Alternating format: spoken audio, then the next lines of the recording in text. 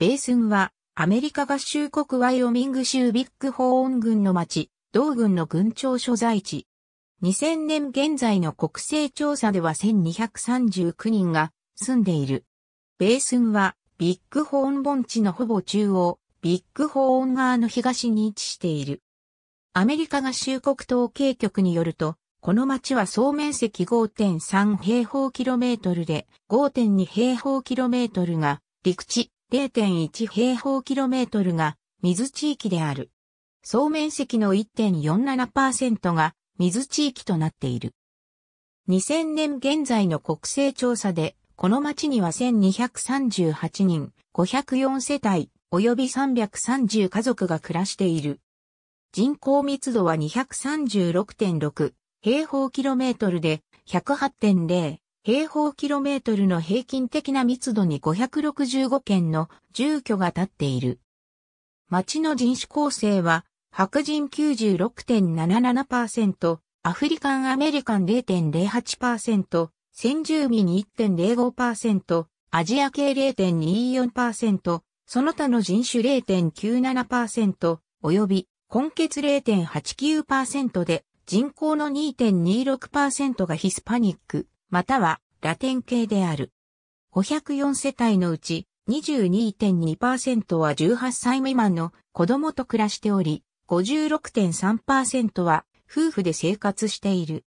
6.3%は未婚の女性が世帯主であり、34.5%は家族以外の住人と同居している。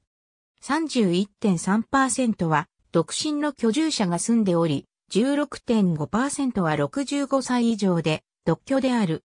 1世帯あたりの平均人数は2.20人であり、家庭の場合は2.74人である。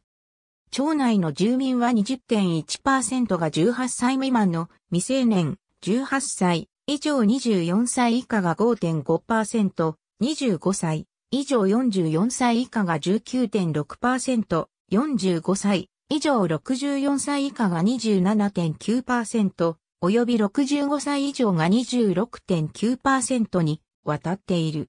中央値年齢は48歳である。女性100人ごとに対して男性は90.8人いて、18歳以上の女性100人ごとに対して男性は86.6人いる。この町の世帯ごとの平均的な収入は33,519米ドルであり、家族ごとでは42,768米ドルである。男性の33,942米ドルに、対して女性は2139米ドルの平均的な収入がある。この町の一人当たりの収入は17,890米ドルである。人口の11.6%及び家族の6.1%の収入は貧困線以下である。18歳未満の17.5%及び65歳以上の12.7%は貧困線以下の生活を送っている。1990年と2000年のアメリカ合衆国の地名ファイル。2008年7月28日閲覧。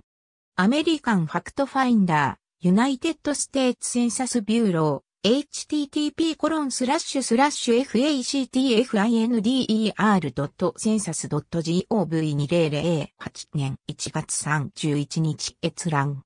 ありがとうございます。